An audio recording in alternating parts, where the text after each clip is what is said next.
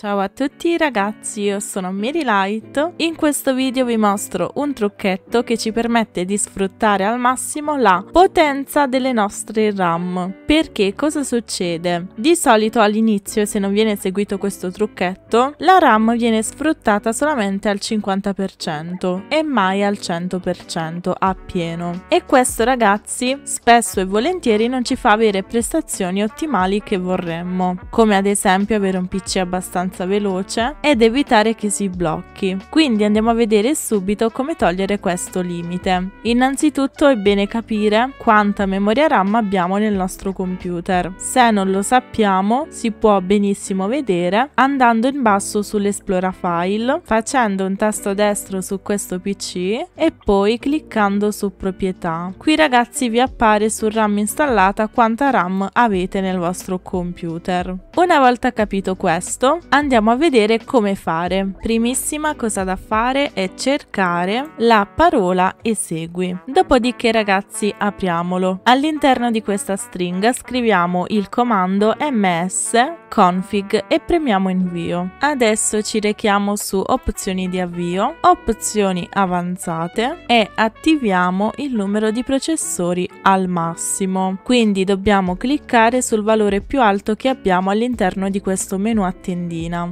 Una volta fatto, quello che a noi interessa particolarmente è attivare la casella memoria massima, dove avremo già di predefinito un valore che ci viene dato nel momento in cui attiviamo questa casella. Noi comunque per sicurezza andiamo a fare con la calcolatrice un calcolo. Possiamo utilizzare anche la calcolatrice di Windows per velocizzarci i tempi, altrimenti se ne abbiamo una a portata di mano va benissimo lo stesso e dobbiamo fare ragazzi ragazzi il numero della nostra memoria RAM, ad esempio se avete una memoria RAM di 4 GB scrivete 4 per 1024. Fatto questo cliccate sull'uguale e questo ragazzi sarà il valore da inserire. Al contrario se avete una memoria RAM di 8 GB andremo a fare gli stessi passaggi, quindi il numero della nostra memoria RAM per 1024 uguale e questo andremo ad inserire. Io ragazzi ho 16 GB di RAM quindi mi accerto che il valore che mi è stato dato da Windows stesso sia quello giusto. Quindi vado a scrivere sulla calcolatrice 16 che è il valore della mia memoria RAM per sempre il valore di 1024. Clicco sull'uguale e controllo. In questo caso sì il valore è corretto